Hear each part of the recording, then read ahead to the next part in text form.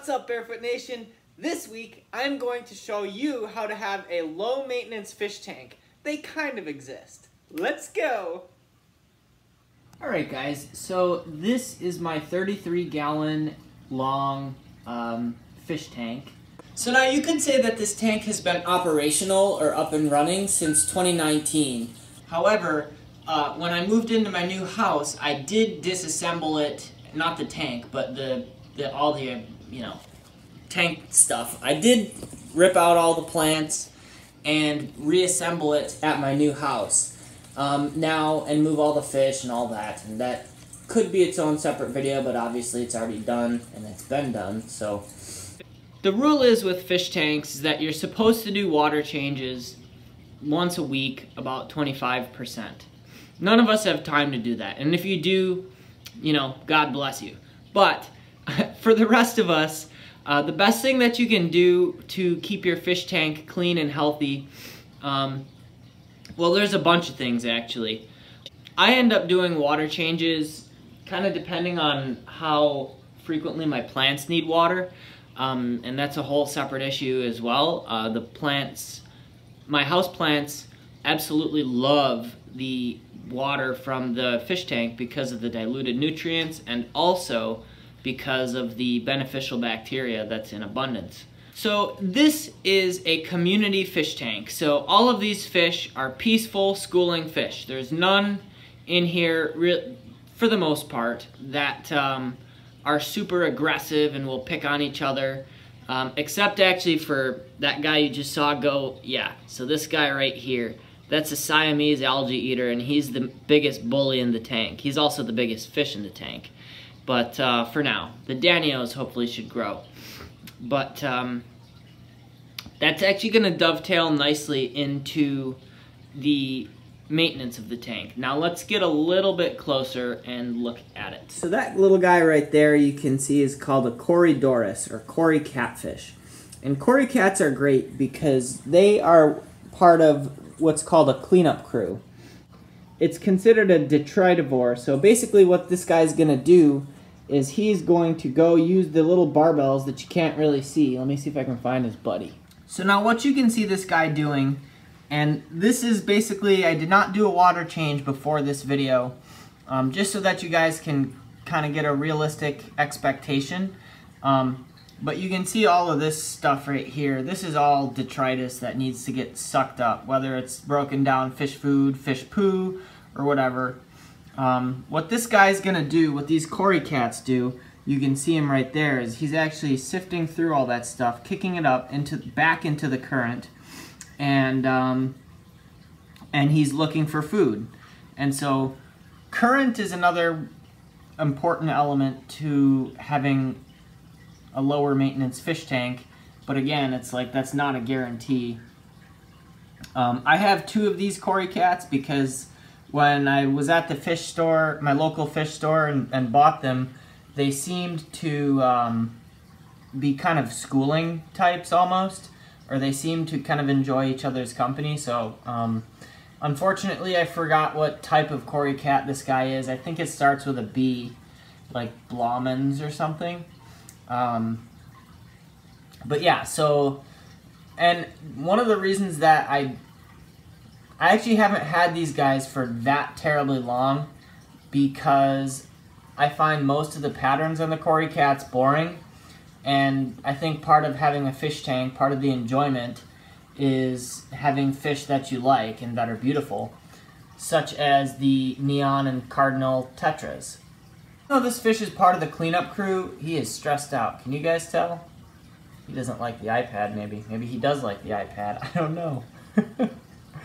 So even though, so the cleanup crew comprises of fish, and that's going to, that's going to take away from the number of fish that you can have in your tank. So this tank is a 33 gallon, as I mentioned, and so you can, the general rule is, and again, if you watched my video about how to keep your pond crystal clear, the number one comment is, oh my gosh, you have so many more fish than what the rule allows for. A pond is going to be a lot more flexible with the fish load than a fish tank because hopefully you're not getting rain inside your house. Um, So when you're talking about stocking a fish tank, what you're going to want to keep in mind is that the number of gallons of the tank is going to kind of handcuff how many fish you can actually have in the tank. So the smaller the tank, the less fish you can have. Basically, it's that simple. And generally speaking, the rule of thumb is one inch of fish per gallon of water. So now, in this tank, I actually have it stocked at kind of a medium rate. So it's not, um, so like were you to not do water changes for a month or so, which is generally the uh, duration between my water changes, a couple weeks to a month, uh, were you to not do water changes, um, the fish, the level of toxins and fish poo and stuff is not to go out of control. That's one of the reasons that I like the community fish, like the neon tetras because and the danios, is not only are they simple and they're tough fish, but they stay pretty small, so you can have a lot of them in a tank and have it look pretty awesome. I also tend to like the planted tanks. Big shocker there. Although the cichlids are starting to grow on me. So I kind of went off on a tangent a little bit about stocking fish. Uh, I was talking about a cleanup crew, and basically that is, um, just to sum it up, it's just species of fish that uh, will eat detritus on the bottom of the tank, like um, the cory cats, who are going to kind of sift through some of the waste. There's algae eaters, which I think which I think the algae eaters are kind of a scam. Like, I've tried Otocinclus, I've tried Plecostomus, the small types, I've tried Siamese algae eaters, and they all are kind of just okay. Like you can see on the rocks here. So let's talk about algae. That's kind of the number one enemy in a fish tank. The reality is, guys, it doesn't matter how many Plecostomus you have in a fish tank. Okay, maybe that's not exactly true. But, like, you can't have like a full species Plecostomus, that big brown fish, you know, in a tank with all the tetras, partially too because Plecostomus will eat tetras. So you have a big honkin' pleco in the tank, he's gonna eat those colorful fish that you paid a lot of money for once that pleco gets big, which happens quickly. So, but I mean, back to the algae eater thing, I've tried all the algae eaters. I've tried Otocinclus, I've tried I still have a Siamese algae eater. He was better uh, when he was younger. I don't know if it's a he. I just said that. but uh, yeah, like I've tried all the algae eaters. All right, I guess technically I, I don't know of every single algae eating community fish that there is, but I've tried all the common ones, as I've mentioned. It doesn't, they only do so well. You know? At the end of the day, the best algae eater is going to be one of these guys here. This is a mag float. This is not endorsed. Um, but mag float, basically what it is, is it's this magnetic thing that you kind of just drag along the sides, and the fish hate it when you do it. But, you know, this is a decorative fish tank, you know, so it's got to be done. But so this thing, you just kind of drag it along the side. I like to do it in a circular pattern. I think it works best. Um, although I have had, um, in a previous fish tank, I have had these things, um, the algae grow in a certain way that it wouldn't remove that algae. Um, in that, um, in that case, you're going to need like, um, in that case, you're going to need some kind of brush, which is basically going to scrub the algae off. Algae is probably the number one enemy in a fish tank, but the other thing you can do having good quality lights. So having good quality lights is something that another thing you can do in addition to the mag float little magnet algae scrubber uh, is something you can do to cut down on algae. Algae, just like with your pond, how they sell that corny blue dye, uh, which again is only so effective in full sun, uh, reducing the amount of light, of blue light, that you have in your tank is one way to have better uh, fish tank or better success reducing algae. Another thing too is having lights on a timer is super simple. It's like, you know, just one less thing that you have to do. And then I'm really into having a high quality light. This is by all in, for all intents and purposes what's considered a low tech tank. There is no CO2, there is no dosing of nutrients. There is nothing except there's no nutrition being added to the tank except what the fish uh, poo out and also any uh, fish food that doesn't get eaten and decomposes. It's, it's all basically just that.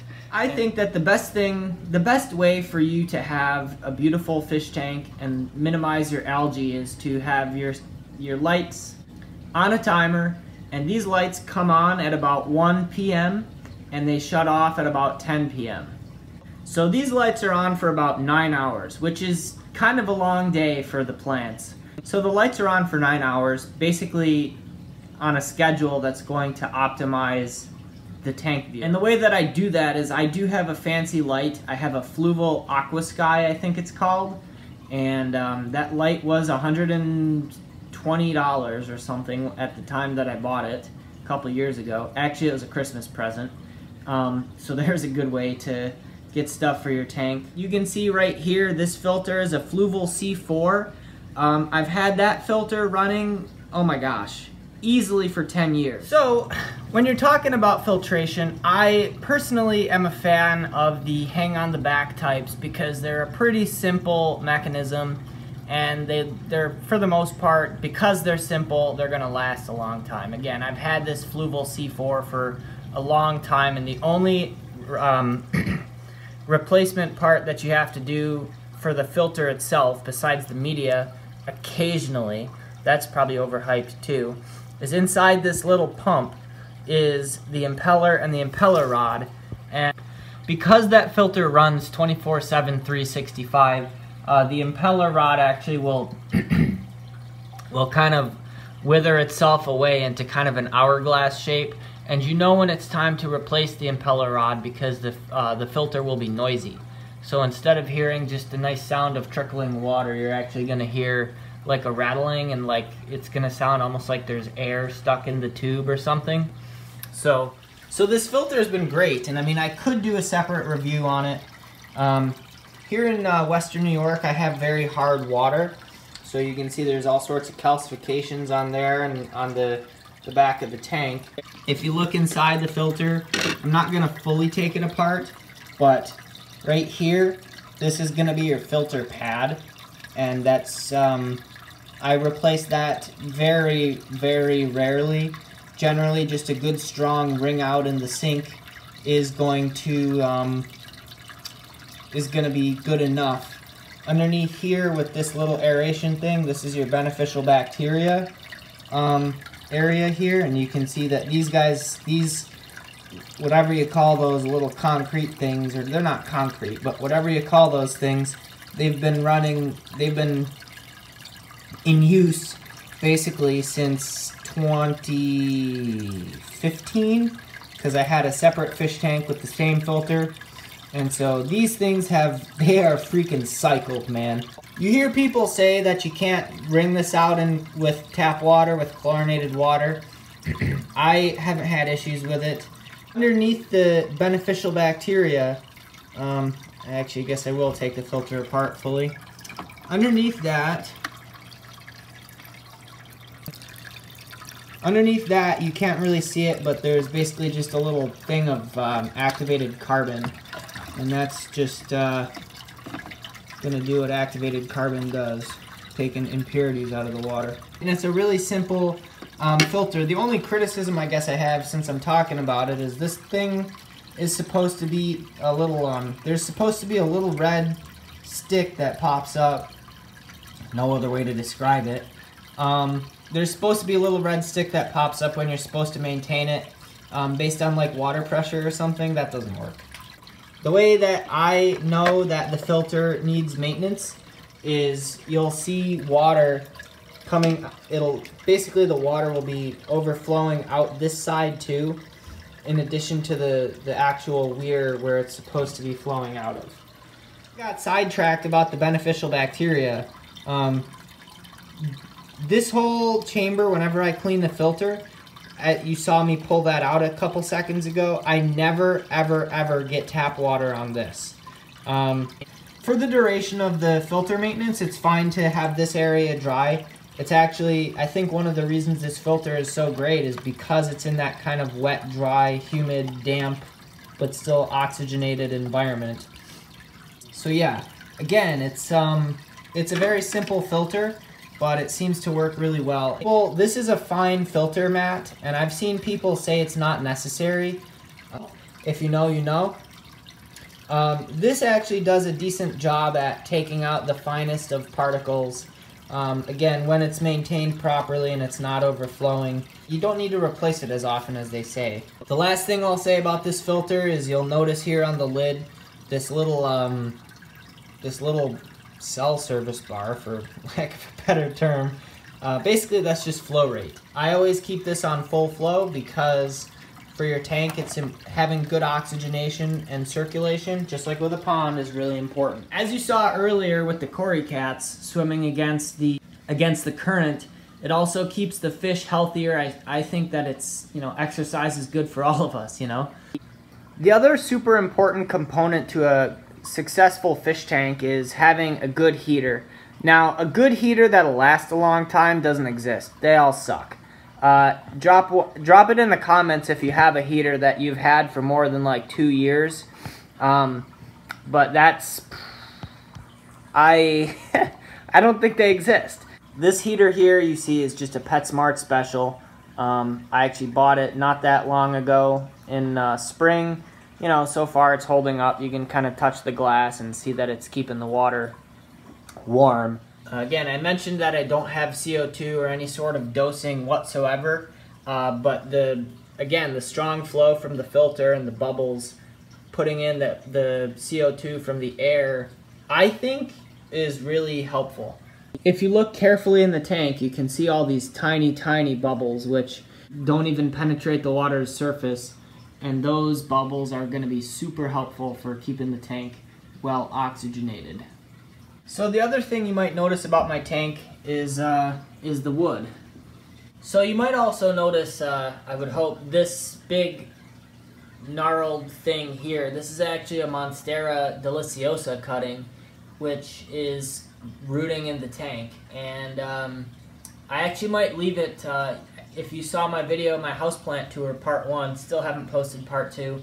Um, but if you saw my houseplant tour, I actually really like how that Monstera looks, even though it's kind of doesn't really know where the sun is. Um, in the sense that the leaves aren't all facing one direction. But I actually really like how that looks both underwater and above water. So the Monstera might actually might actually stay in the fish tank. And saving the best for last, if you guys are still watching, you're awesome. Uh, talking about the fish that I have, I mentioned early in the video that it's a community tank. Um, I like to keep it simple, you know, so I've got a bunch of different type of Danios. These ones here that you're looking at, that when the light hits them just right, they're gorgeous. They're pearl Danios, so they kind of have some of the similar patterns of the zebra Danios. You can see a long fin zebra Danio right there or I guess rather the Pearl Danios do have kind of a bluish cast to them in the right lighting. Um, that's a new addition. One of my favorite fish that I just can't keep alive, but they're stunning, are Furcata rainbow fish, um, which is like kind of the same shape almost as a Danio, but they've got yellow and red and blue. They're just beautiful. And then, of course, I don't think it would be a community tank without having some tetras. You can see here, um, there is a cardinal tetra. So I've got a couple cardinals and then also two, um, some just old school neons. And then I also have these green, eh. I also have a bunch of, a couple green neon tetras. And you can see that they kind of have a, um, kind of the blue stripe of a cardinal, but they don't really have much red at all. And they stay a little bit smaller. They were supposed to stay a little bit smaller than your typical other tetras, but um, yeah, the greens are cool. The green neons are cool, and then also too you can see, and then you may or may not be able to see again the cor um, Blomens or whatever cory cats that are in that corner over there. They like to hang out together, which is cool. Um, and the fish that I probably will end up feeding to my turtle if I can catch it, Siamese algae eater here. Um, I'm just not a fan of the Siamese algae eater.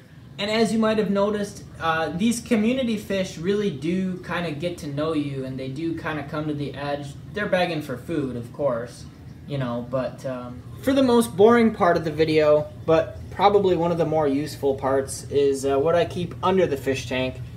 And I have all sorts of water test kits, um, which I rarely use, but I have them should I need them. Um, I have the packaging and the old impeller rod. I've got some spare filter pads for the Fluval C4, um, which again, I, I've had these, this, there's probably dust on this package because I don't change the filters that often, I just clean them occasionally. And then of course the obligatory stress coat and stress zyme for doing water changes. Stress coat is your dechlorinator. Stress zyme is beneficial bacteria to top off your um, existing uh, colony of beneficial bacteria. Uh, the stress zyme, there's a bit of a debate because uh, some people think that the populations should just breed themselves, but if you guys have had a pond with an automatic dosing system, that has pretty dang good water quality. So I'm a fan of dosing more beneficial bacteria into the tank when you do water changes, especially because when you're doing a water change, the water that you're putting back in from the tap after you've dechlorinated likely will not, um, well, no, it won't. It won't have the levels of beneficial bacteria in the water that you took out. So that's a pretty simple reason for why I use it. Of course, I got my fish food. Then CO2 booster, again, I don't use any of these products. I have them, um, and uh, but I don't use them because I don't think you need them. This little radio looking thing might be one of the most important pieces of kit you can have for your fish tank because if your power goes out, this is a battery operated aerator. This is something that you, you know, you don't need it until you fricking need it. And then when you fricking need it, you know, you'll pay a $100 for it. What? And I mean, literally, it's just a super simple aerator, just like the rest of them. That actually went a lot longer than I was expecting, so if you watched to the end, to this point, you guys are awesome, and hopefully your fish tank will be uh, amazing. If you want to see more content just like this, be sure to smash that subscribe button and tap the bell.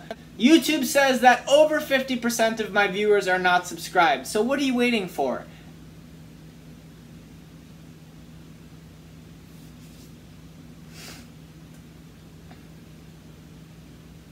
And if you do like this video, be sure to give it a big ol' thumbs up.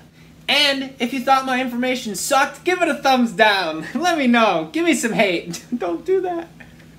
Alright guys, thanks for watching. See you next week.